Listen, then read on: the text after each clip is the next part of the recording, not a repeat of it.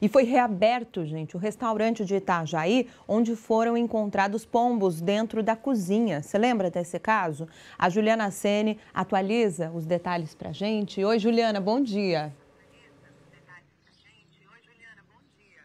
Oi, Marta, bom dia para você também, para todos.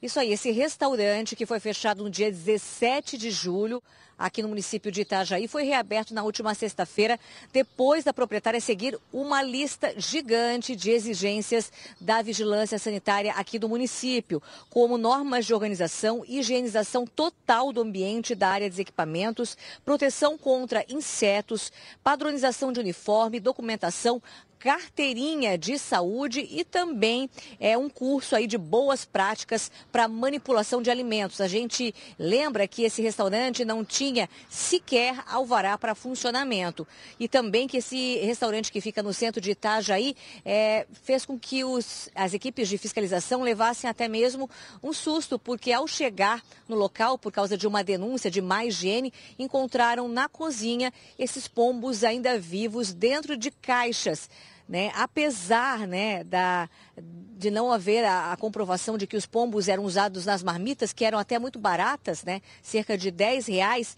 é, a proprietária disse que esses pombos não eram para consumo e sim animais, aves ali de estimação. Mesmo assim, a gente lembra que os animais na cozinha de um restaurante fogem às condições sanitárias, né, e a, o consumo dessa carne, né, assim como qualquer uma, sem procedência, né, não é de, uma, de um criadouro, né, é, tem normas é, de é, cuidados sanitários e tudo mais, pode gerar alguns problemas né, gastrointestinais, como causados pela salmonela, e também o próprio, a própria convivência dessa mulher, né, dessa proprietária com o pombo, pode causar problemas graves, né, porque o pombo pode transmitir diversas doenças, entre elas a meningite. E a gente tentou vários contatos também com a proprietária desse estabelecimento, mas não obtivemos resposta até agora.